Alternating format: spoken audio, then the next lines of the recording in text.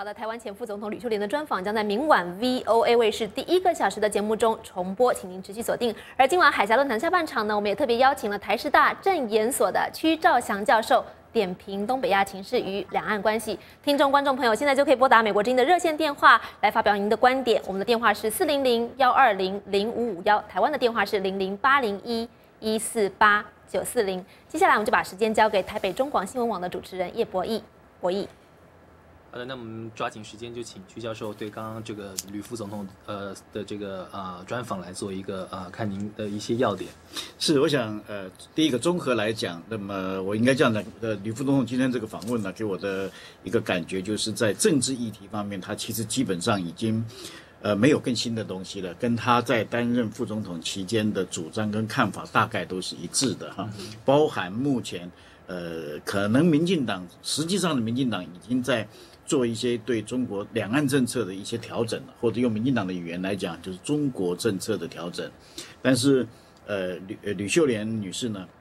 她对这个部分看显然是没有太 follow，也就是她并应呃应该是这我判断了。从他今天的发言，大概他并没有参与到目前民进党内部对于中国政策调整的这整个的讨论里面去，所以显得他在这个两岸政策的主张，还有其他政治性的主张呢，基本上还比较呃没有特别新的主新的的的主张出现，但是在非政治性的东西，哎，却他却有一些呃这个比较新的一些思维，或者说比较新的主张，其中也确实他在这个到美国访问之前呢。那么他在台北呢，那么这个推动这个反反核四的这个运动，某种程度上引起了社会一定的反响。但是是不是这个反响有他目前所说的那么的乐观？也就是说，呃，可以超越到蓝绿之外呢？那这个，呃，可能他个人的理想是这样子了，但是这个可能也不完全事实是事实。所以我应该这样讲，简单的来说，他今天给我一个总的一个感觉是在非政治性的主张上面呢。显然，在退休以后啊，就是呃这个卸任以后了。那么吕副总统，呃，这个吕副总统呢，他在这个呃呃非核议题啦，这个环保环保这方面的议题哈，有一些新的的投在工作上的有些投入，有一些新的思维。但是在政治议题上，显然他就没有太多的参与了，这是一个总的感觉。那么另外一个就是他今天谈的几项主张里面呢，呃，我觉得比较有意思的是在。他的这个对于钓鱼台主张里面呢，特别提到了所谓的共同不开发的这个主张。那么，因为他今天提到的四点啊，那么这四点其实严格的来说，跟马英九总统所主张的东海和平倡议绝绝大部分是重叠的，包含了十二海里里面的不呃的这个这个不开发。那么十二海里之内，我们都知道，因为它是一个领海的一个概念。事实上，现在钓鱼台是在日本的行政管辖之下，所以呢，呃。呃，即使呃去年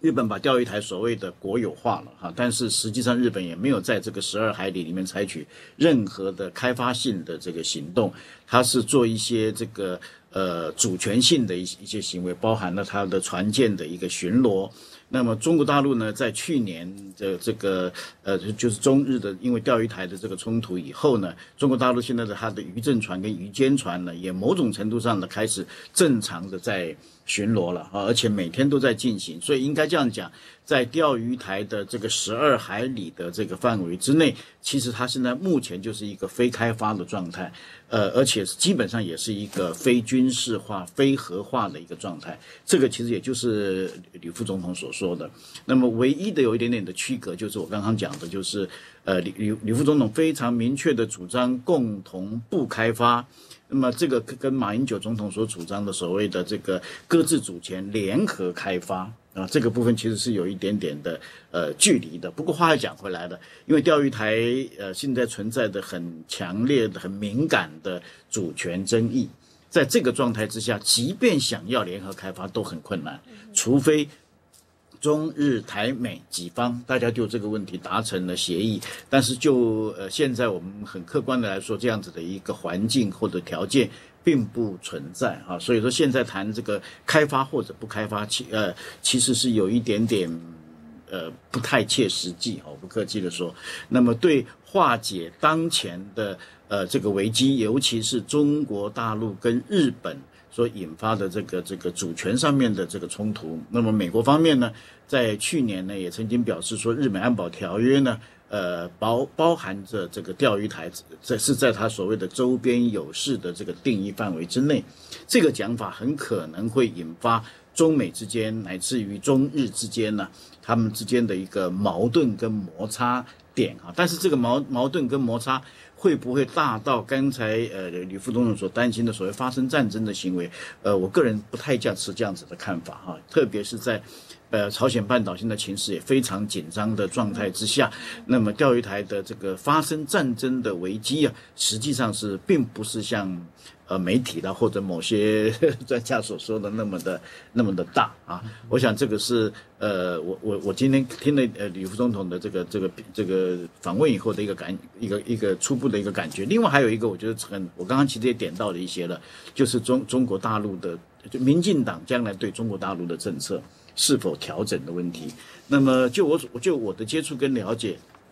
事实上，在二零一二年的总统选完了以后，因为民进党开始全力的在准备明年的七合一的选举以及二零一六年的总统大选，那么很明显的，呃，民进党的这个领导的阶层呢，已经了解到说，中国大陆的政策如果不做调整，还是维持着刚才吕秀莲吕前副总统所说的一九九九年的那个所谓的台湾前途决议文的那一个基本的立场。话呢，那么恐怕是会，呃，对民进党的这个二零一六年抢得执政权的机会来讲是负面的影响。所以，民进党事实上现在内部也开始在做调整，但是要做怎么样的调整，怎么样的表述，那么这一点呢，可能呃，他们还在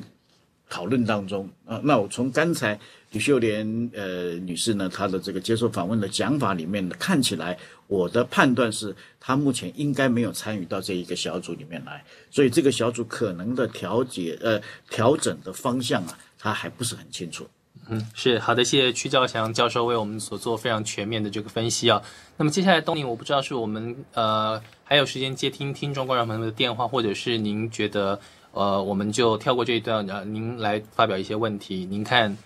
事实上，我们今天海峡两岸听众、观众朋友等在线上的听众不但不少，而且都非常有耐心哦，所以我们就接听我们海峡两岸听众、观众朋友们，请他来评论一下吕秀莲刚刚这段专访，跟您对目前两岸关系的一些评论。想先听台湾的听众，桃园的陈先生您好，请讲。桃园的陈先生，您在我们的线上了。好的，我们我说话你听得到吗？请讲，陈先生。哦，我想这样子说哈，陈那个监狱不是人待的地方，那想请问一下，陈水扁跟吕秀莲当道的时候，他为什么不改善他？然后，然后如果说是这么烂的话，我建议啊，那么我对所有人的一视同仁，也就是干脆把监狱废掉算了，把所有人通通放回家去，请他们在家里疗养，或者另外一个做法。那就是请立法院拨一些钱，把它盖一个三星级啊，或者是五星级的规格，这样子比较符合人权。对于东北亚的形势，我的意见是这样子哈，我很支持金正呃什么金正恩这种做法，建议他继续保持这个状况，然后也建议马英九啊给他一点点鼓励。现在的情况，我觉得对我们并没有什么不好。谢谢。好的，谢谢桃园陈先生发表他的个人观点。下一位是大陆的听众，广西的江先生，您好，请说。啊，你好，你好，我想说，呃，那个李，呃，李秀莲啊，就是认为说，就一那个眼眼睛，啊，近邻那个那个那个说法，我觉得是确实是，确实他都忘了自己是什么样的一个，他忘了自自身的是他自己，他他的根是哪里的？我觉得这个这个这些说法确实很可悲。我觉得中国嘛，就是在一个中中华民族的一个范围之内啊，不应该这么这么一个一个一个一个想法，是吧？虽然说，呃，他现在已经卸任了，但是我觉得，呃，他应该不会不不应该忘记一个中国的原则吧。嗯，好的，这个是我认为的话。广西的江先生，谢谢您。台北的黄先生，请说。长那个执政的时候哈，那既然是联合那个国民党哦，加上以前哦反国民党的那个独裁贪污的人呐，你看看这个国民进党哦，真的是伤天害理的，跟国民党没有没有两样了。所以说哦，民进党的在执政的时候，哎，是台湾人的悲哀啊。好的，谢谢台北的黄先生，不好打断你，我们后面还有听众啊。福建的庄先生，抓紧时间。福建庄先生，您好。台湾政府当局跟任何呃组织呃交流都应该有自我的个性。如果说呃觉得呃各位言行屈就，觉得自己弱小，但表面上屈就，但是表面上人家欢迎你，哎过后人家会看不起你。哦，好的，谢谢庄先生。要更加有自信。谢谢您，北京的王先生。喂，你好。请讲。你好。我觉得李主持是胡说八道。中国两岸不是南北韩，也不是都记得，是一个中国，不存在两个中国。好的，谢谢北京的王先生提到这个两岸跟两韩的情况不一样。好的，那我就把时间再交回给中广新闻网的主持人博弈，请博弈来综合刚才听众观众朋友的问题呢，继续请教我们的曲兆强教授。博弈，好的，刚刚听众朋友也提出了一些问题，我们大约节目到呃我们。呃，还有一分半钟的时间，是不是请呃曲教授我们来综合回应？呃，我想我就集中在刚才听众朋友们可能谈的比较多的，虽然都很简短，但就是在两岸的这一个部分哈。那么很明显的，我们从这个群众的反应里面，以及从吕秀莲女士刚才的这个讲法里面，我们可以体会得出来，呃，呃，这民进党。如果在呃明年，特别是二零一六年的大选的过程当中啊，如果还继续是坚持一九九九年的所谓台湾前途决议文的那样子的一个立场，呃，用用简化一点的讲法，就是他刚才讲的远亲近邻的这样子的一种定位两岸关系的话，那么可能对民进党呃的这个赢得选举呢，会是。比较负面的影响啊，所以很明显的，民进党需要在两个中国政策方面呢，做一个呃一个比较大幅度的一个调整。但是我我所谓的调整，不是说民进党一定要放弃他原来所主张的，而是他必须要把他原来的主张跟现在的情势做一个连结。然后才做出一个调整来。如果他调整，如果始终在这方面做不出调整，即便他幸运的赢了二零一六年的总统大选，恐怕也很难执成功的执政。嗯哼，所以您呃，简单来说，就是目前来看的话，中国政策或是两岸政策，还是民进党的罩门吗？是，应该这样讲，选举就未必了，因为我们看最近的这个马马总统的马政府的支持率在下滑，因为他内政呢的确做不出很好的绩效。但是话又讲回来，还有三年多的时间，你也不能说他一定交不出一张漂亮的成绩单来。那假设我们一个状况，呃，我们假设一个状况，就是现在这个比较不好，执政不好的情况延续下去的话，民进党有可能在二零一六年。还是可以赢得选举，但是他执政的目的是要交出一张漂亮的执政成绩单嘛？如果你交不出这张成绩单来，是后面还要再失去争选是必然的。那么中国政策不调整，他很难有好的成绩表现。嗯哼，好的，谢谢曲兆祥教授对今天这个我们就